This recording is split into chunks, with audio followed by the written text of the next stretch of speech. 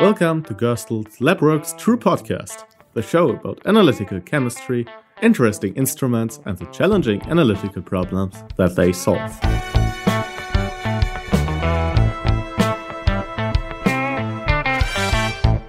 Hi, and welcome to Gerstel's LabWorks podcast, where we talk about interesting stories in analytical chemistry, problems, and how we solve them. Uh, I'm Kurt Thaxton. I am the product manager for thermal desorption here at Gerstel, and I'm joined with my co-host, Jan Garbe-Emmel. Jan, say hi. Hello. Um, yeah, so very warm welcome here from the headquarter in Mülheim an der Ruhr, Germany. Hi, Kurt. Hi, Jan. Good, good, good to be together again. Today we have a we have a special guest. Uh, we have Damien Steyer is here, um, and Damien's going to talk to us today about a lot of interesting things. But uh, rather than me tell you what those things, we have Damien right here. Damien, uh, how, how about you tell us a little bit about yourself? Okay, so hi, Kurt. Hi, Jan. Uh, I am Damien Steyer um, the CEO of Twistaroma. Twist Aroma is a small company I created uh, 11 years ago uh, after my PhD on wine aroma. And um, now we are using uh, products to profile different kind of uh, beverages uh, using uh, SBSE GCMS, for example. Damien, where, where have you started your, your career in, in the university? Which university you have been? I was in the University of Strasbourg and I did my PhD in the INRA. Uh, INRA is the Institut National de Recherche Agronomique, which is more or less a National Institute of Agronomical Research in France. Uh, I did my PhD in enology. And um, the first day I was in the in the university in this uh, in this uh, institute, um, they asked me to uh, develop uh, a dedicated um, screening project for aroma profile in wine. I use it to develop the screening of uh, volatile compounds in wine, and thanks the SBSE, I was able to do my PhD and uh, and obtain the, the, the, diploma. And then after the PhD, I created Twistaroma because the protocol I developed during my PhD was um, good enough to to propose to different kind of industry, uh, especially the brewing industry and the wine industry. And now um, in the company, we use the, the SBSE protocol to profile every kind of uh, volatile profile in a, a, different kind of matrix. So, as I'm, am I right when I say you jump directly from the university to be uh, to to form a company and and jump into the uh, adventure of uh, being company owner, uh, spending money for something and earning some money and and so on. So, not is that right? You're right. I created my PhD just before I obtained the diploma. Great. Wow. So it was it yeah, was a big. That's pretty, that's pretty brave. That's that's yeah, what I, I thought I can about. Only, yeah. I can only imagine. yeah, yeah. now, when you me. say you profile aromas, sorry about, but when you say you profile aromas, are, so are, you're also like, do you have an ODP port at the other end? Are you characterizing the sensory side of it too, or are you just strictly no. looking at the GCMS data? No, we, we do not have uh, ODP um, uh, in, in, the in the institute. We only have uh, MPS and a GCMS, and uh, ah. Uh, without without the thermodesorber uh, unit, it meant that I used the SBSE in the liquid desorption part, in the liquid desorption uh-huh. protocol. And the aim of the um, of the PhD was to find uh, volatile produced by yeast but mm-hmm. it was not aroma specifically. It was more um, metabolical um, dedicated part.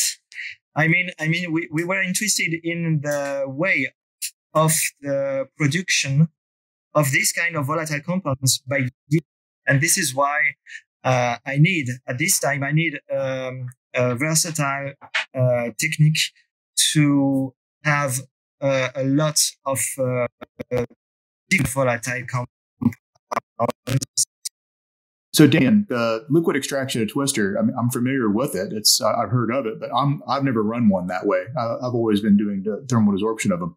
So, so what do you what do you extract that with, and how much are you injecting, and how how does that work? How does the actual sample process look? Um, the, um, the liquid extraction works with uh, acetonitrile.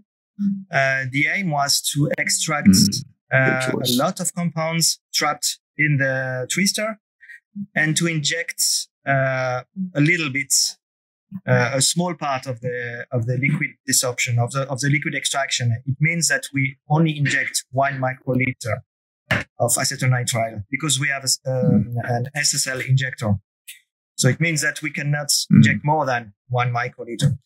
Uh, but uh, we have to have at least um, the level needed to uh, cover the the twister, and the, the minimum you have to to put to cover the, the twister is uh, 100 microliter.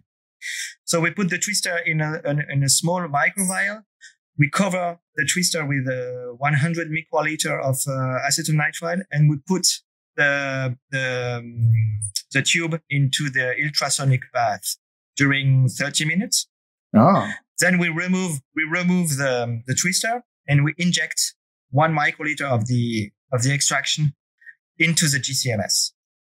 But of course, we only um, see one percent, one microliter of, on one microliter on the 100 microliter. So it means we we can only see one percent of the total volatile uh, products which are trapped in the twister. Mm-hmm. But it was still enough for me uh, to do my PhD on a, on aroma profile in wine.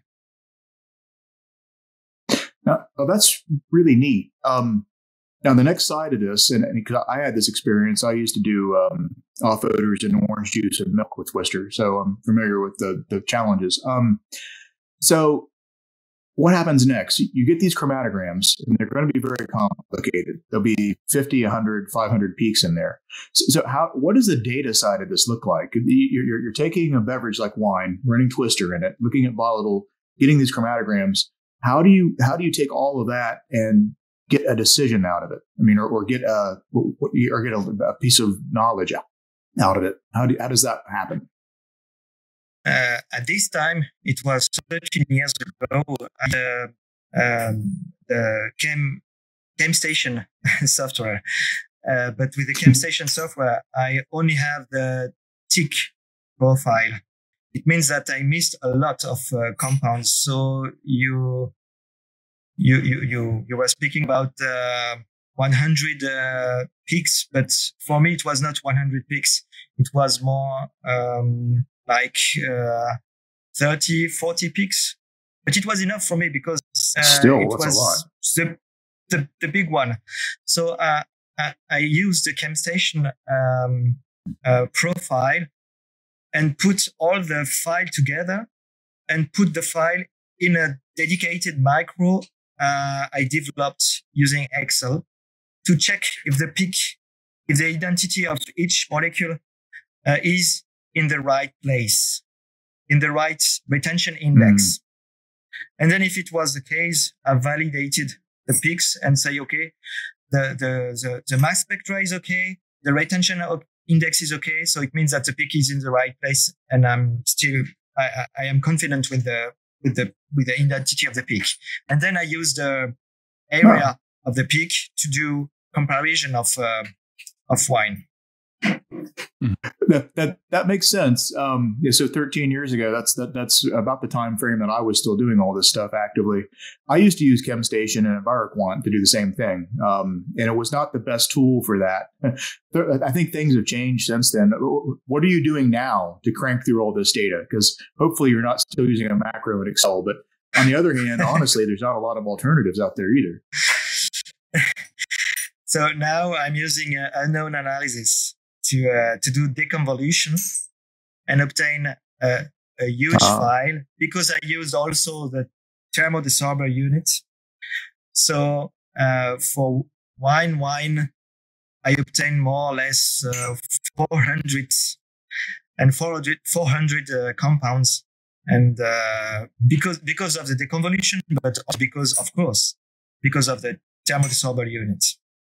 Okay, when when when you're when when you're thinking about the past, so your your your time at the university and the time now, what what what happens with you with your company in this time? So um, that it sounds that that there is something more uh, or some some more instruments are there and some more people are there. So can you tell us something about that? What happens um, from your company side over this time before we come back to the actual analytics? Um, um, to compare to compare the the, the, uh, the time when I was in university and now, uh, what I can say, uh, I'm a CEO of a company. We are five, six person in the in the company, and then we we have now uh, two GCMS, uh, one GCMS uh, Simple Quad, one GCMS TOF. It is a BT TOF.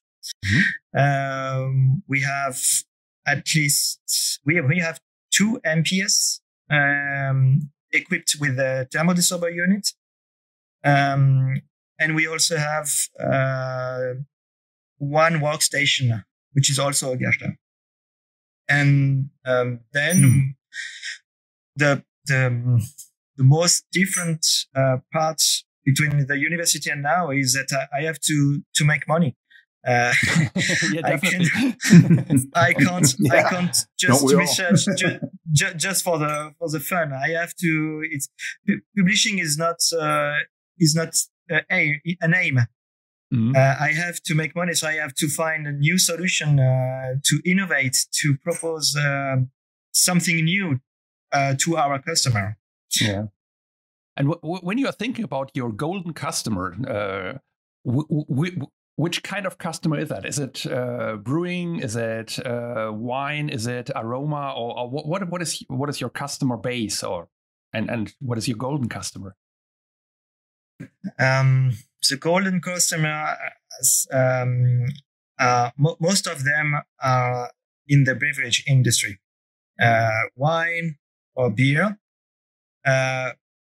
It is also because uh, we are in, um, in, in the area in France where we have a lot of brewery and a lot of winery.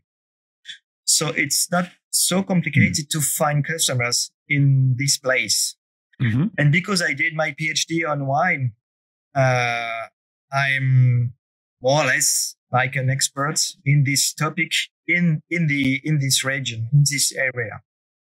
So what are the, what are your customers coming to you with? I mean, so the, the one that always sticks out to me, but that's only because I did the work, um, was you know off flavor. So we would get people complain about milk that tastes like grass. Okay, so we have to figure out why it tastes like grass. It ends up being hexanal, being the cause. Now it's easy that hexanal makes it taste like grass. The question is, where does the hexanal come from?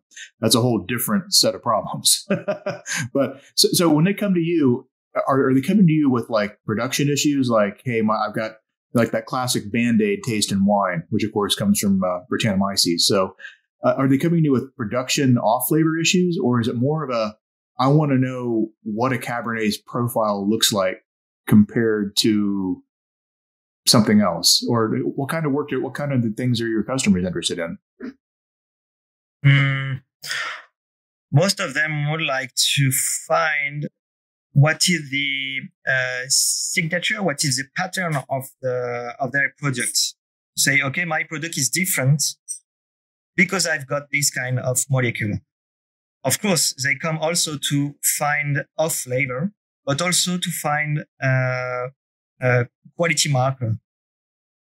And uh, for example, oh. uh, in the in the hop company, uh, we've got we've got a hop, a hop company in Alsace here. Uh, we are more or less the, the only area uh, of uh, hop producers. And they would like to find why they, their hop are specific and are uh, unique to make beer. So they would like to find the pattern and uh, to, to, to say to the brewery, to the brewers that their hop is unique. And if they used these hops, they will have a unique pattern, a unique flavor. For example, we worked on a, a hop which is called Barbe Rouge, red beer, red beer, sorry. And um, this hop um, has some um, some specific flavor, uh, like uh, red berry, like strawberry, and they mm. would like to know why and what is this kind of compounds. And then during this study, for example, we use ODP to find these compounds and say, okay, this compound is unique in this uh, variety of hop. And these compounds give the, the unique flavor because it, it, it is responsible of the, of the strawberry flavor you can smell. And for the hop producer, it's very important mm. to communicate on the on this kind of molecule to say it's not it's not just a smell it's also uh, real it's also proved by scientific point of view and by scientific uh, machine like GCMS for example so the hop producers are yeah. uh, your customers, for example, to to to identify their unique their their, their selling points, uh, their, their unique selling points to say yes, that's that's why our hop is the best one for whatever A, B, or C. Yes, but but um, there is also a new uh, another interest to this kind of profile. Uh, for example, um, th- there is a um, it could be it could be that the the hop you are using, the hop you are uh, putting in, into the into the field, uh, have some problem to be um, uh, to, to be used to to grow. Mm-hmm sometimes the hop has some problem to grow. And they then they have to exchange the variety by a, another one which is more resistant to uh, disease. Mm-hmm. if i come if Twistaroma come and say okay you you have a different kind of variety which uh, we screened and we are able to say okay this variety has this kind of uh, profile but this variety has a problem uh, this variety is not resistant to the disease, but this one is resistant and has the same profile, the same volatile profile. So you can exchange mm-hmm. this variety by another one and keep, and you can keep the volatile profile you want. And the brewer, the brewery is okay because we've got the, the, the same patterns, the same mm-hmm. volatile mm-hmm. compounds mm-hmm. in the hop. So it makes sense for the hop producer to have this kind of information really interesting yeah and and, and really challenging uh, no. for for the producers to to get the right the right answer and uh, yes i think with your equipment and your knowledge that's that's exactly the way to go and for example we, we can do the same with the yeast okay. we, can, we can profile the volatile produ- the volatile compounds produced by yeast and uh, uh, we can use this yeast and exchange this yeast by another one and produce exactly the same volatile profile. And this could, this could be also uh, useful for the yeast producer. And we'd like to do that also for the barley. Okay. Mm, that would make sense. So, so, you're screening like you're looking at raw incoming barley, yeast, wheat, uh, hops, etc. But um, a lot of that volatile profile is going to change though with fermentation. So, are, are you also you know, doing like small scale fermentation there and uh, in the lab, trying to get to these other volatiles, or how does that work out? You're you're laughing. There's got to be a good story here. There's got to be something cute. yes, yes, yes. You're right. Um, I did a lot of micro fermentation during my PhD. So um, for me, when I when I used uh, Gerstel products, uh, I always think about a way to uh, transfer the micro fermentation I did manually to uh, a robotic uh, experiment. Uh, for me, it was very important to to be reproducible when I did my micro fermentation. So um, last year we we we we um, we imagine we think about a way to produce beer and to ferment beer using a small vial and using uh, the incubator to uh, do the brewing part. The incubator is very, very interesting for um, to, to, to do the brewing part because we can control precisely the, the degrees, the temperatures, and also the increase, Mm. and also the, the, the, the, the plateau. So, uh, thanks to the software, we, we program all the, all the, the, um, all the, um, uh, the temperature for, uh, for the brewing parts. So I, I, I don't know if you are familiar with the brewing part, but uh, there is a lot of different kind of temperature which has to be uh, respected to, to yes to, to increase, to decrease, to to, to maintain during a Mhm. certain time Mhm. because you have to um, to um, uh, to use uh, amylase to transform the maltose to glucose, and the amylase works only at a, a, a, um, a temperature. It means, for example, at uh, 72 degrees, uh, we have to we have to left the the, um, the vial the the, the wort at 72 degrees during 20 minutes. For example, to to have uh, an amylase uh, which can work perfectly.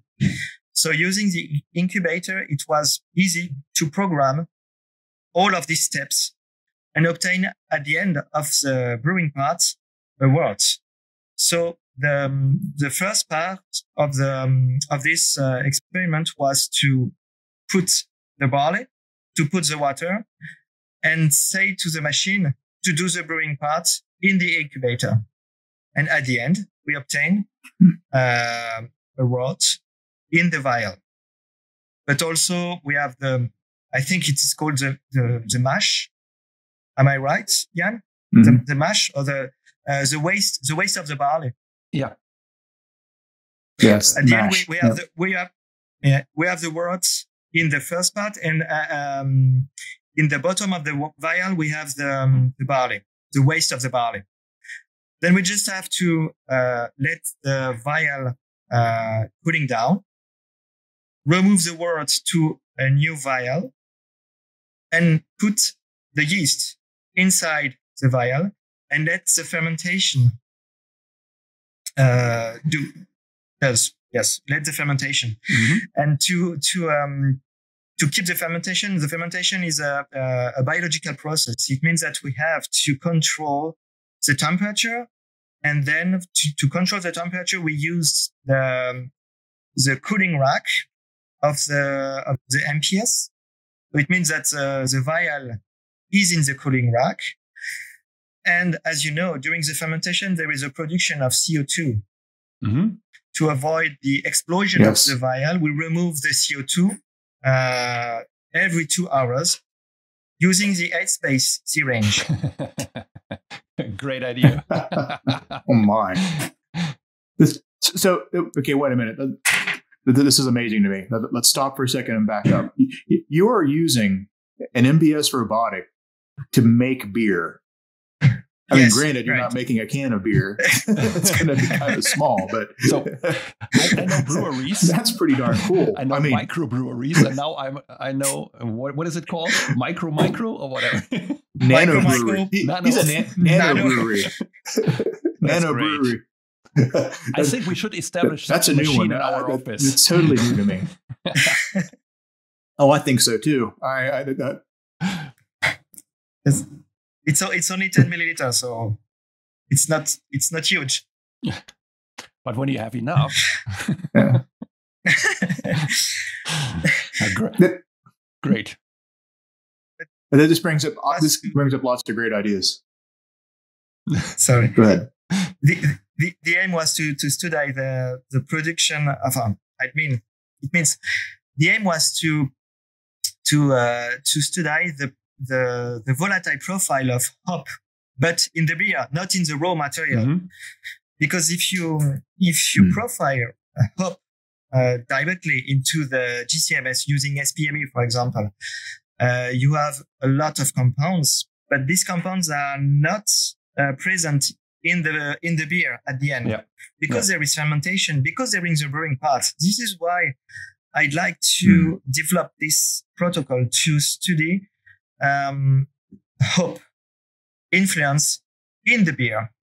And and it works. It it works very good. So so we, we, we can we can put the hop uh, at the end of the brewing part and let the fermentation and take the vial at the end and put into uh, the, the, the, the, GCMS for, for doing uh, SPME or SBSE if you want, and then obtain different kind of profile uh, for every hop we, we, we used.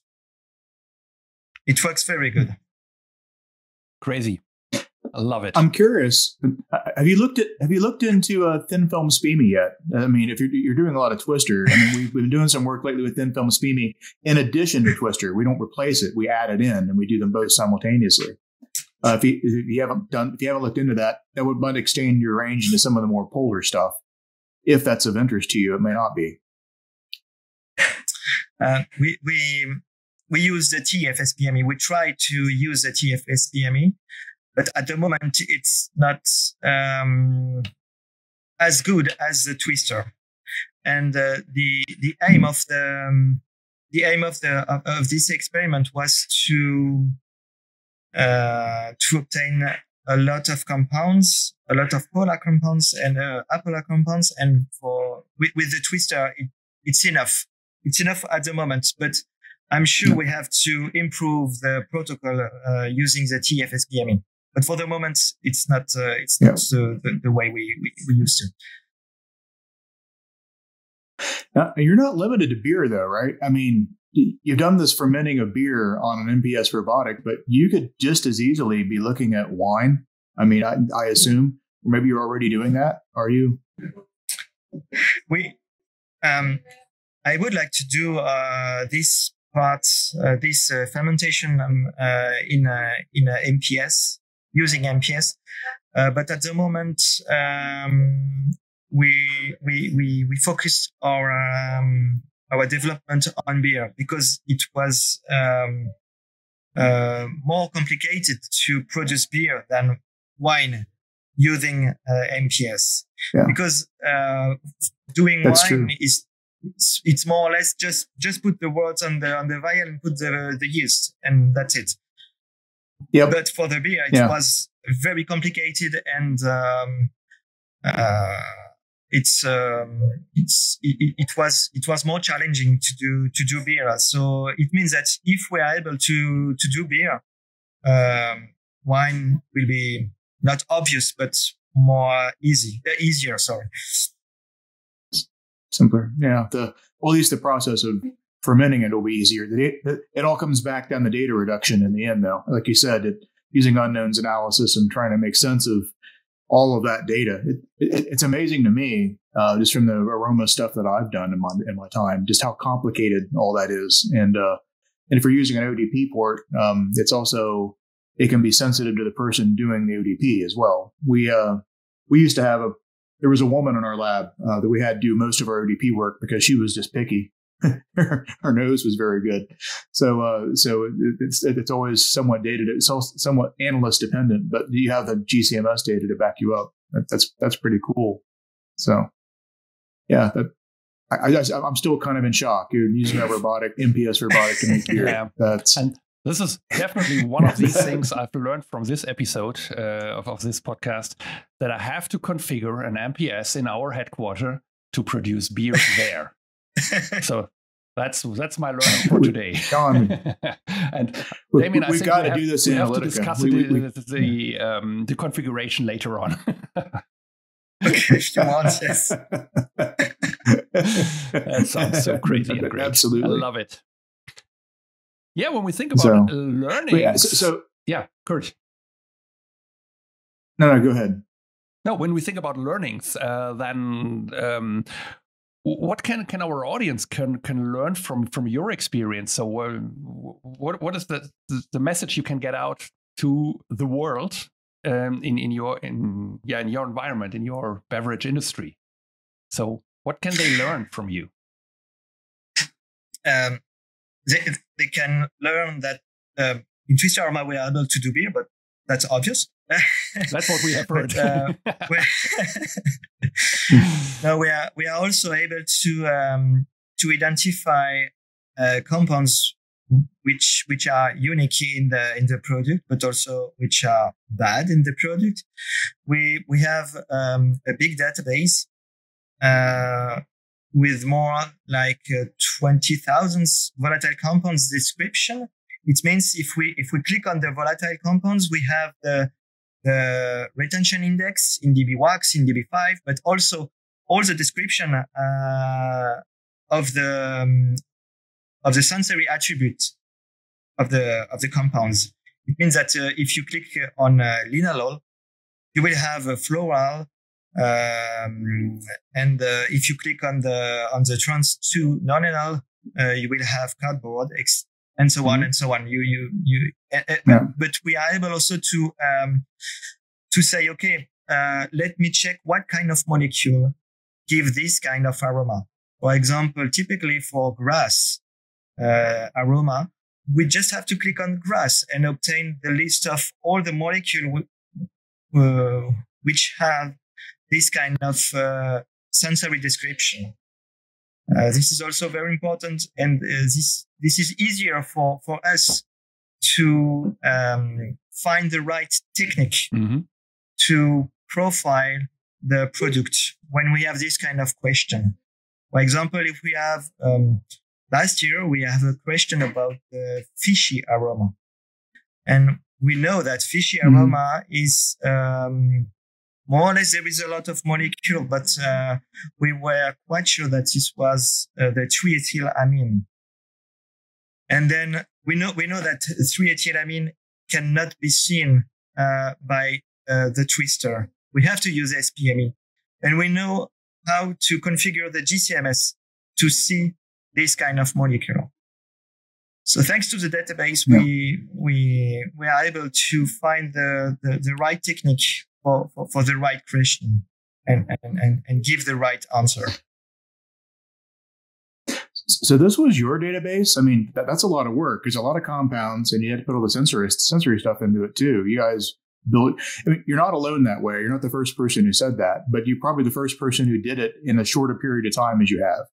I mean, you know, so a lot of the people we work with at the big flavor houses, for example, they have they have these same databases, but you know, they've been Symrise and people like that have been working on this for 50 years. so, so it's you, you come a long way in a short period of time. That's pretty impressive. Um, yes, I, I, did that during my PhD because I read a lot of paper, and uh, as you know, wine is uh, very complex and very rich in uh, different kind of uh, aroma, and I mm. was hmm. exhausted to uh, to uh, look at the description of of each molecule and and don't remember the description of this molecule two months uh, after I did this uh, first research. This is why I put all of the mm-hmm. data uh, I can read on the volatile description uh, in, into an Excel file, and then I um, we, we we use we we develop our own database uh, on uh, SQL uh, to manage all of this data and uh, and be sure that we, we we we are able to f- to to find the right description for the for the right uh, volatile compounds.